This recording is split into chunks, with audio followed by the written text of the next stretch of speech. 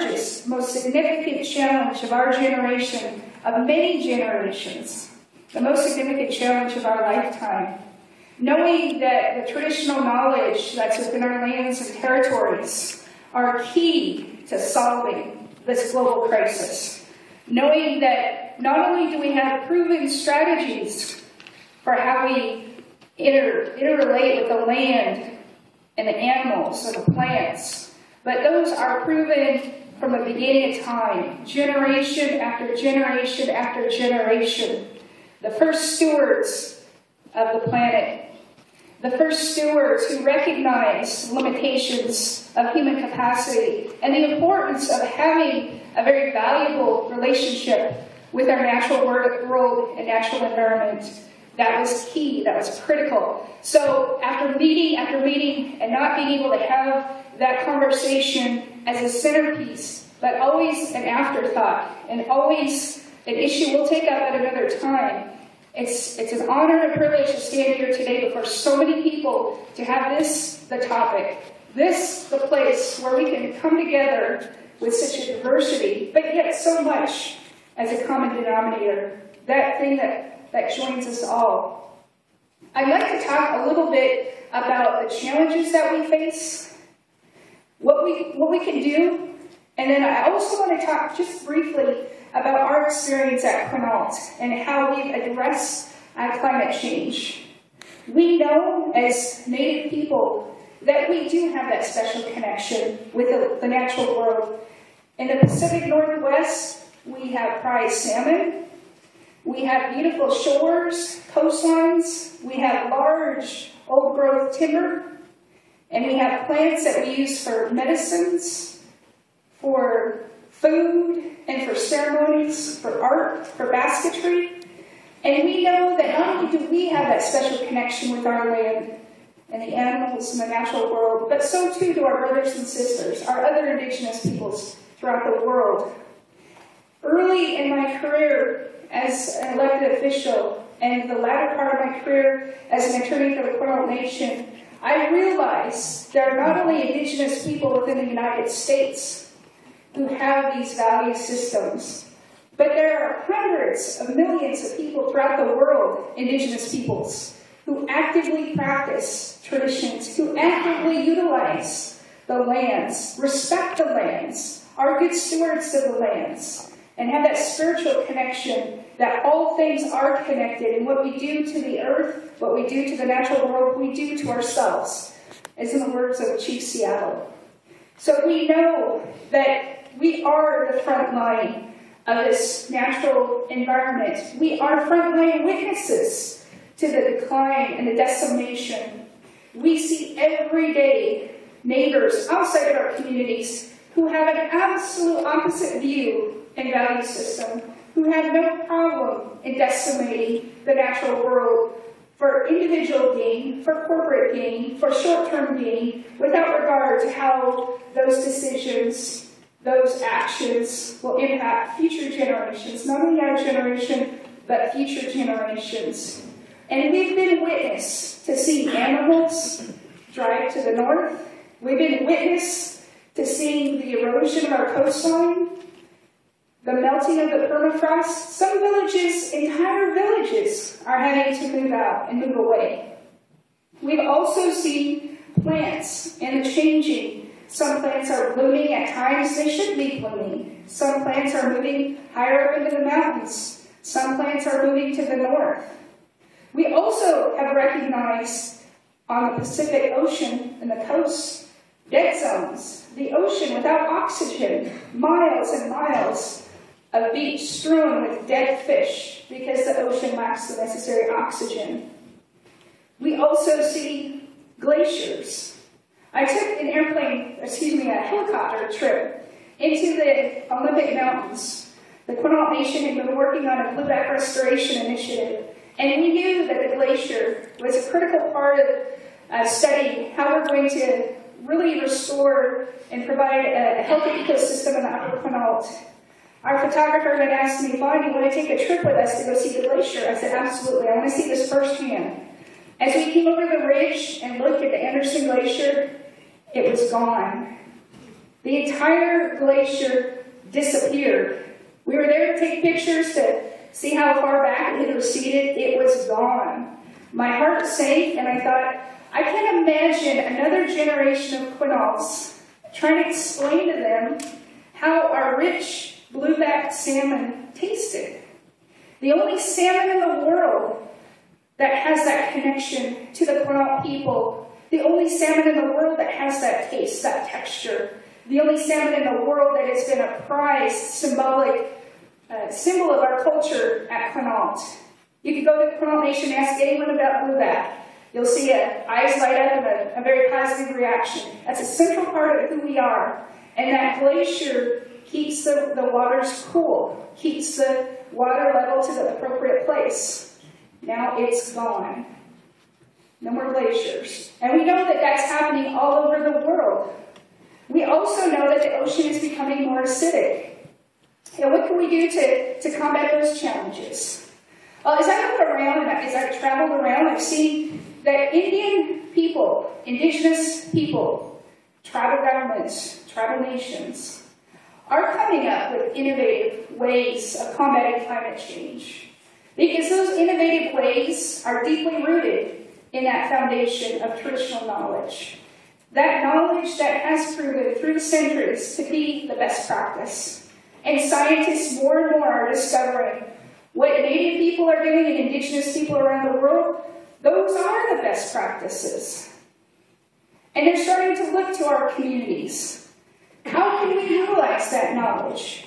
And it's important to note that to solve this crisis, it depends on science, it depends on good policies, it depends on economics, but it also depends on that cultural and historic piece.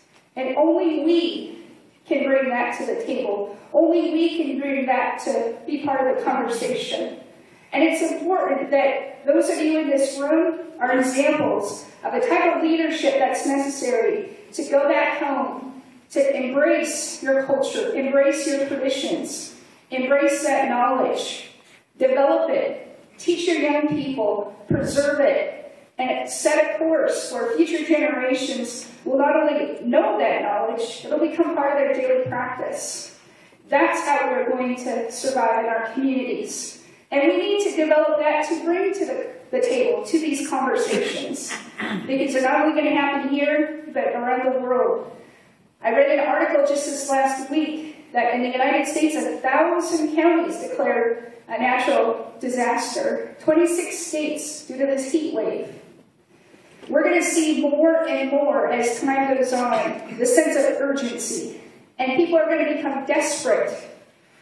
In that same article, they talked about uh, helium uh, shooting up arsenal, arsenal into the, the atmosphere to try to create some sort of solar effect. And these scientists were talking about these out of the world, literally out of the world strategies to try to protect the, the Earth from these impacts that are likely going to happen in the next decade, two decades, and it's going to become seemingly impossible, and people will be desperate.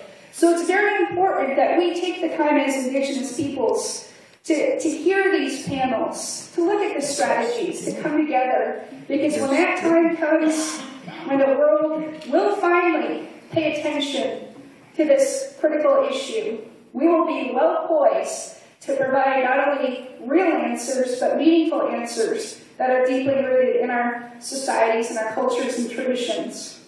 We need to do that. We also need to recognize outside of our communities, we need to align with state, federal policymakers, with other policymakers, because no one society will have the ability to, to solve this global crisis. It will require partnerships it will require those friendships. It will require that relationship where we can come together to develop strategies that are sustainable, that are comprehensive, and that will be able to provide solutions to each of these challenges. We need to reach out to the private sector.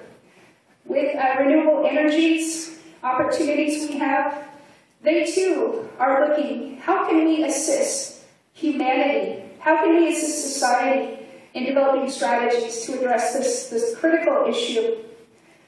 We also need to look at scientists and academics, to be able to research, to measure the success. At a gut level, at an instinctual level, we know what we do at home is good for the, the earth.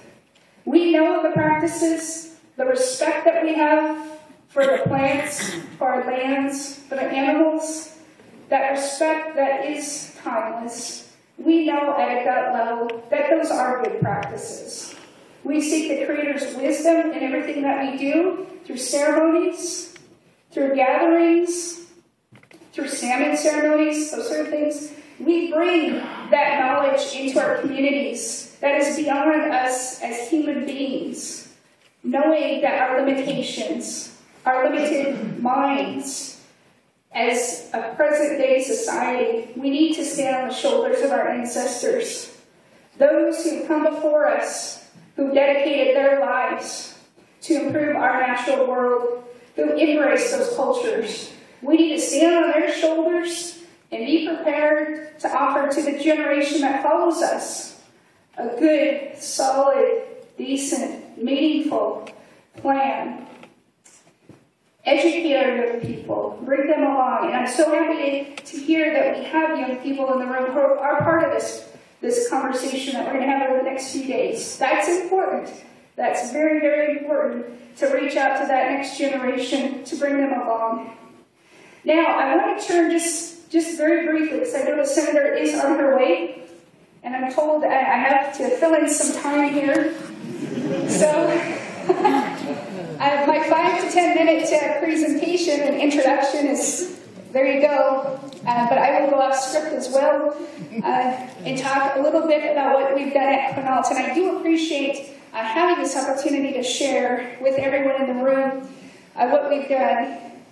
When I first got into office, as I mentioned, my first year, a tribal elder talked to me about climate change. I had no idea at the time what climate change really was. And that same elder talked to my eighth grade class when I was just a youngster and told our class someday water is going to be more valuable than oil. And I remember thinking at the time, that's impossible. How could water be more valuable than oil?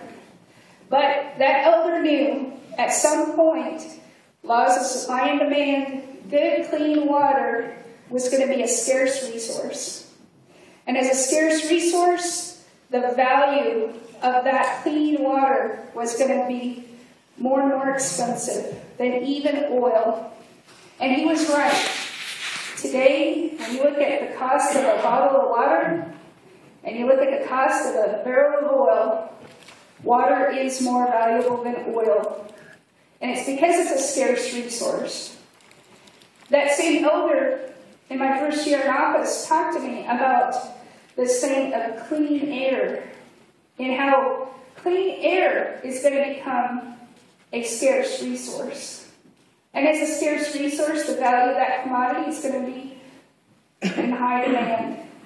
That there are going to be industries popping up we are a timber tribe. There are going to be industries popping up that are looking at this thing called carbon sequestration. An economy that is being built around this. People are already trying to figure out how can we exploit this opportunity for capital gain. But we need to be prepared. We need to look at how we plant trees. We have an industrial based model. We plant, we wait 30 years, we harvest the timber, we plant, we thin, we harvest. But by sealing out the rotation cycle, we're allowing those trees to continue to bring about good, clean air. So he told me, you need to go figure this out. I said, okay, we will figure this out. We will figure out how we can start to address this issue here at home. It started with looking at restoring the Upper Quinault and he pulled together some of our scientists. We had a lot of data and statistics. And he knew back then, even before that October afternoon when I climbed in a helicopter to go look at that glacier to see that it was melted, he knew then that that was imminent and that that was likely going to happen. And so, as we set out, we thought this is not only a scientific issue, This is clearly a sovereignty issue and it's clearly a political issue.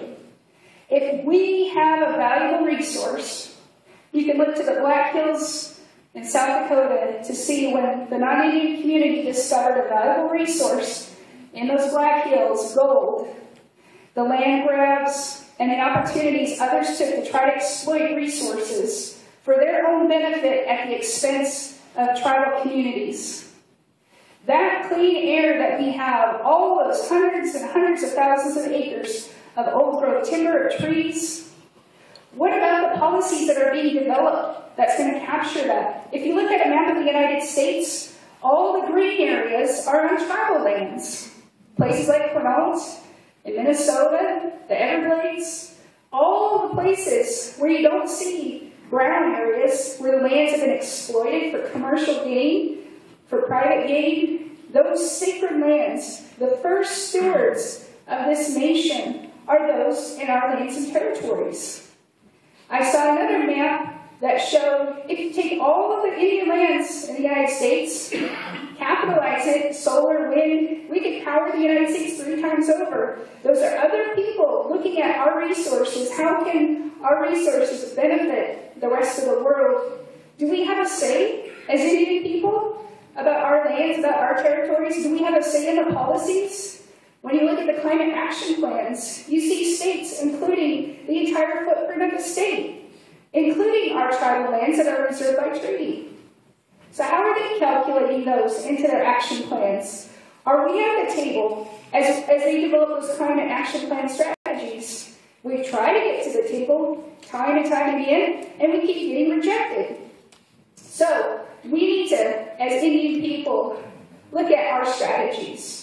We need to look at the science, the culture, and the political implications, as well as the economic value. We then, after we assess our potential, we adopted a set of comprehensive climate change policies in April of 2008. We then went out uh, internationally and we started to talk to countries outside of the United States. We attended COP14, the Conference of Parties in Poznan, Poland. It was our goal there to reach out, to create a contact group, a five state, five nation contact group. We figured if we could just get 10 groups together to start, uh, we might be able to get some headway here. So we talked to the governments of Germany, we talked to the governments of uh, Panama, of Bolivia, uh, we talked to um, uh, what was the other three? There were three uh, countries in uh, Denmark. Denmark has a foreign policy uh, respecting indigenous peoples. And the other country, the obvious country, was the United States. So when we arrived to the United States door, we knocked and we got the six inch treatment. The door opened six inches and we asked, What do you want? Whereas when we went to Denmark and we went to Germany, the door was open, they offered us cookies, and they wanted to have a nice conversation with us about climate change. We got to the United States door, and we weren't even allowed into the room. There was an NGO official, native, braids, tall, dark, approached before we knocked on the door and said, the Quinault Nation has political leadership here, and they will be coming to talk to you. When we knocked on the door and I introduced myself, the reaction I had was, there was another Indian here about an hour ago. Can't all of you Indians get together and just send one person? that was the reaction. uh, so we set out to develop these relationships with countries outside of the United States because we know that those other countries have looked at carbon sequestration. They have looked at all these things that have been proven to be effective and those that have proven to not be effective.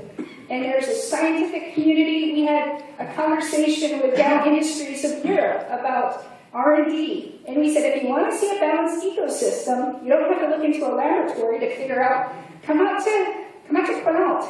You can see a river system from glacier to ocean with absolutely no development.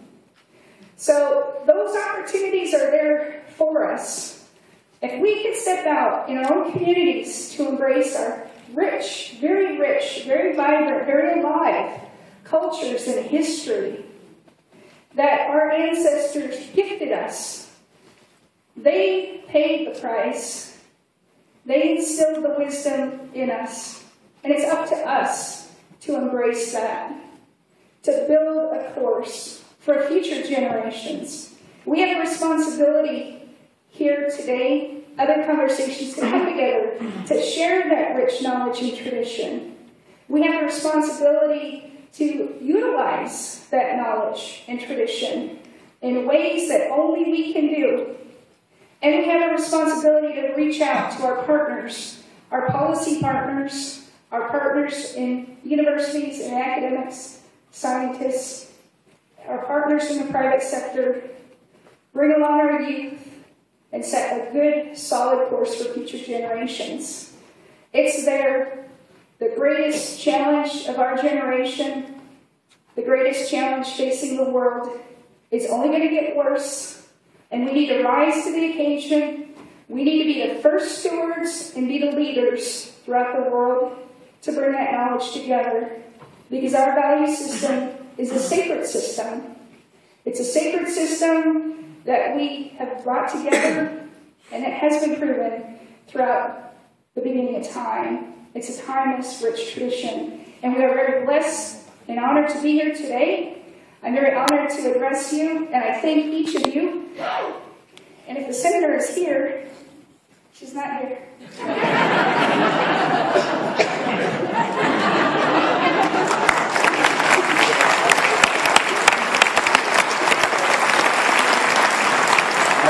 porque